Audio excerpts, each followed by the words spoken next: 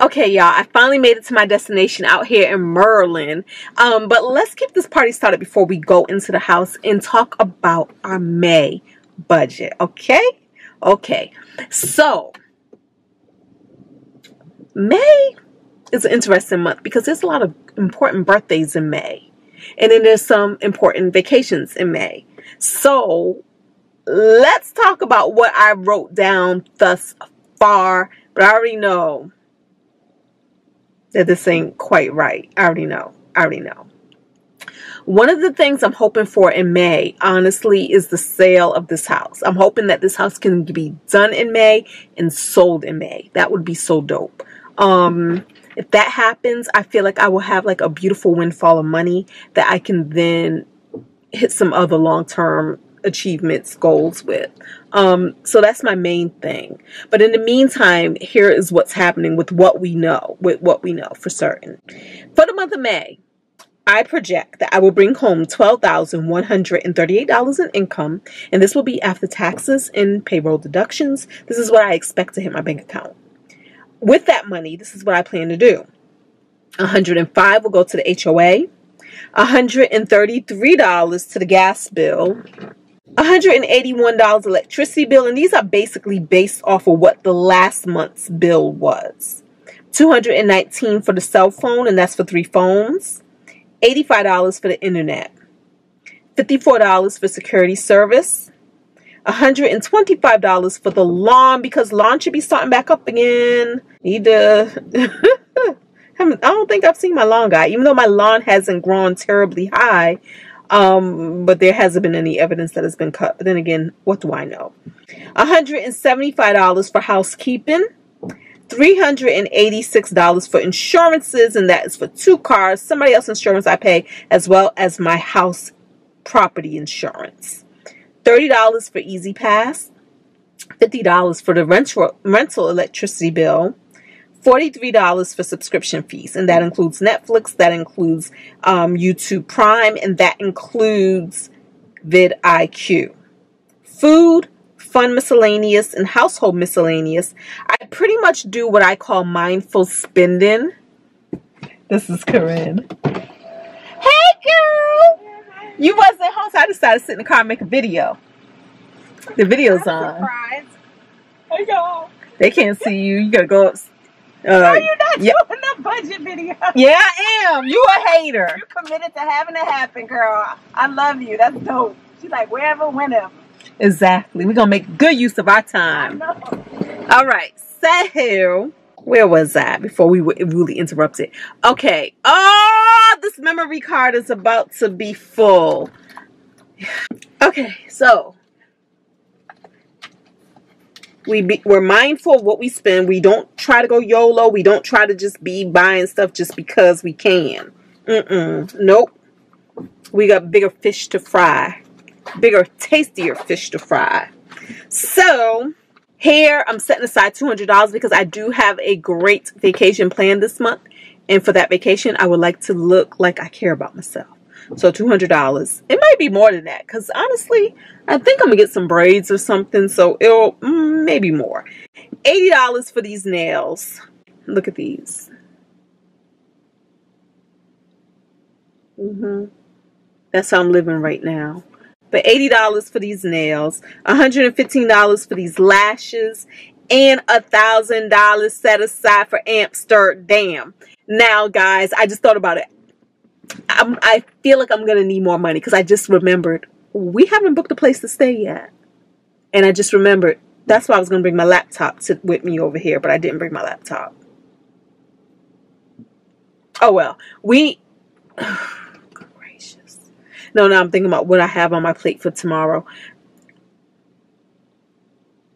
Tonight, tonight, tonight. I'm gonna try to start looking for a place to stay in Amsterdam. Um, and that $1,000, honestly, I want it to be just spending money and not to include lodging fees. But we got to lodge somewhere. So we'll see what happens. Um, I like to go on these major vacations with a good cushion of money so that I can just do whatever I want to do and not feel like, well, but it's not in my budget. It's all in my budget. 401k, $1,580. Health savings account, $200. Savings, $1,275. And the mortgage gets $1,536 extra to my mortgage because one of my long term goals is paying off this wonderful home $3,000. And when all of that is said and done, I have $1,566 remaining. Now, in that remaining money, I do have to take care of giving, because we gives, food, miscellaneous things like fun and whatever else the house may need. So all of that stuff comes from that 1566. But what I try to do is be um is to save more than what I spend so that at the end of the day with that 1566 I have more money left over that I can apply to my long-term goals such as investing, such as saving, such as paying off of this house. Y'all's battery is about to die. Let me change y'all again. Okay, y'all change. Now, the crazy thing about this month is a few things. Okay, so we still have all of the things that we're doing. Um, I talked about that in my April bumped its head video. Um, some of that money has already been set aside from previous months, from April's budget and from March's budget. Okay, we still have a cushion there that we're using for that money. In the meantime, I had showed y'all in the April Bump This Head video that I got a letter from the HOA saying I need to do all these things. And some of it is fix my lattice board. Y'all, why? Okay, first of all, Handyman says $700 to, fi to fix the lattice. I went to Home Depot. The big pieces of lattice, like the big long pieces of lattice, only cost like $15 a thing, right? Big long piece. So even if I got two of those things, even if I got three of those things, that's $45, about $45, okay? So you're telling me $45 in material and then you're going to charge $600 to staple this material onto the house? So of course I want to do it myself, right? The problem with doing myself, because I went back to Home Depot, they don't cut lattice boards. So I need to find, I'm going to check with Corinne to see if some of her peoples around here can cut lattice board for me. Or if I can just buy my own, invest in my own, or maybe even rent because, you know, we've been spending a lot of money lately. Um, the saw thing to cut the lattice board and then staple it my staple it back on the house myself because $700 for $45 of supplies because all of the other things are still good all of the boarding around it still good so we're going to repurpose those reuse those um, even if I bought some new nails, the nails were three dollars for like a pack of six, seven, eight, nine, ten. I don't know. It was like a bunch of them that came in a pack for like three dollars. Um, so yeah, that's one of the things I'm trying to figure out. I'm in the midst of figuring out right now. And then for May, I told you guys it's my mother's birthday, my grandmother's birthday, and it's Mother's Day. I plan on taking them to um and Jay, Jay's mom is going to come down. And so we are going to take them to see this play, David, at Sight and Sound in Pennsylvania. So for that, though, look, nails are this nail polish is flaking off as we speak more and more. So for that though, um, already paid for the hotel rooms, already paid for the tickets. Got to pay for gas to get there, which Jay will probably pay for. Um, food while we're there.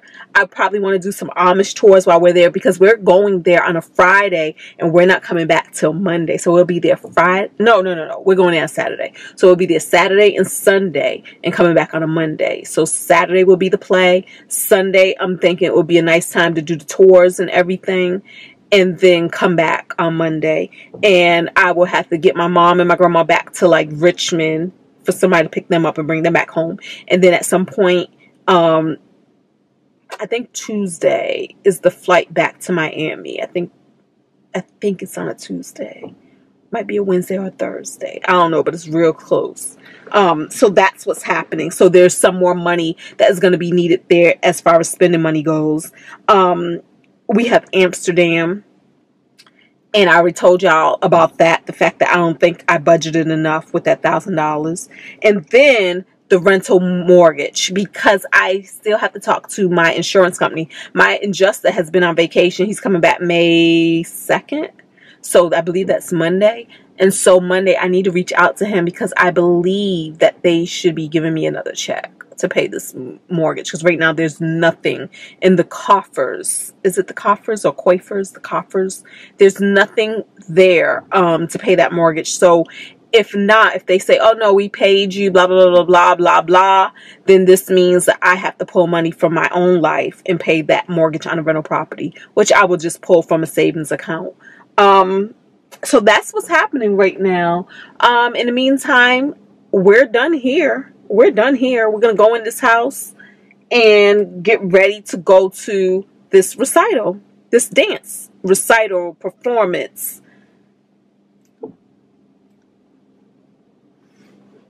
extravaganza because it sold out in 15 minutes. In 15 minutes, the tickets going on sale. It's sold out.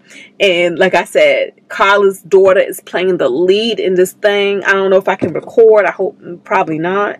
But we're going to see what we see and we're going to go and celebrate her and be there and support her and enjoy this thing and then see if her neighbors can help us with some lattice board. I don't see nobody with no lattice board around here. Just my life. Just my life. Peace, y'all. Thumbs up, subscribe, talk to me in the comments.